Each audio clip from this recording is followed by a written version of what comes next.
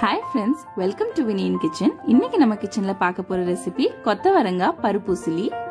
இந்த ரெசிபியை நீங்க வந்து பீன்ஸ் அவரைக்காய் அப்புறம் வாழைப்பூ கூடயும் ட்ரை பண்ணி பார்க்கலாம்.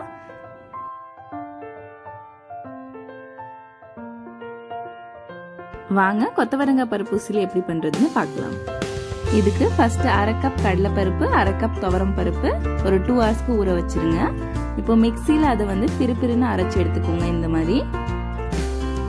இந்த அரைச்ச பருப்பு ஒரு பவுலில் ட்ரான்ஸ்ஃபர் பண்ணிக்கோங்க. அதில் இப்போ ஒரு ஹாஃப் டீஸ்பூன் மஞ்சள் பொடி கொஞ்சோண்டு பெருங்காயம் சேர்த்துக்கோங்க. தேவையான அளவு உப்பு ஒரு த்ரீ க்ரீன் சில்லிஸ் வந்து பொடிசாக நறுக்கி அதில் ஆட் பண்ணிக்கோங்க. ஒரு பிளேட்டில் எண்ணெய் தடவி வச்சுக்கோங்க. கையிலையும் லேசாக எண்ணெய் தடவி அந்த பருப்பு மிக்சரில் இறுக்கமாக உருண்டை பிடிச்சு வச்சுக்கோங்க. இதில் கருவேப்பிலை கொத்தமல்லி கூட நீங்கள் சேர்த்துக்கலாம்.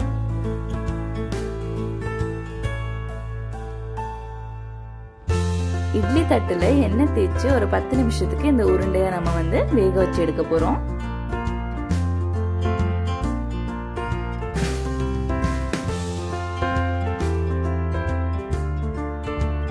அடுத்து கொஞ்சமா கடுகு ஜீரகத்தை தாளிச்சு பொடிசா நறுக்கி வச்ச கொத்தவரங்காவை நல்லா வதக்கிக்கோங்க. தேவையான அளவு தண்ணி ஊற்றி அதை வேக வச்சுக்கோங்க. பருப்பு உருண்டை நல்லா வெந்துடுச்சு. இதை இப்போ நம்ம உதுத்து வச்சுக்கலாம்.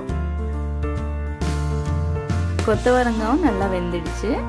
ஒரு கடாயில் கொஞ்சமாக எண்ணெய் எடுத்துக்கோங்க. ஜீரகம் ரெண்டு காஞ்ச மிளகா கிள்ளி போட்டுக்கோங்க. கருவேப்பிலை கொஞ்சோண்டு கொத்தமல்லி. சின்ன வெங்காயம் நல்லா பொடிசாக நறுக்கி வச்சு அதையும் ஆட் பண்ணிக்கோங்க. அரை டீஸ்பூன் மஞ்சள் பொடி ஒரு டீஸ்பூன் மிளகா பொடி.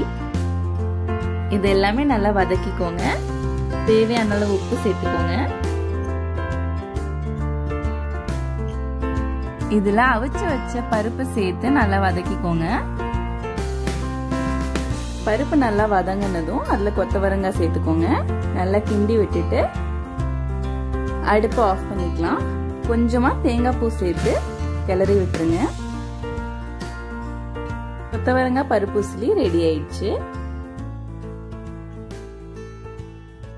இந்த ரெசிபி உங்களுக்கு பிடிச்சிருந்தா லைக் பண்ணி ஷேர் பண்ணி சப்ஸ்கிரைப் பண்ணுங்க. தேங்க்யூ ஃபார் வாட்சிங் அ வீடியோ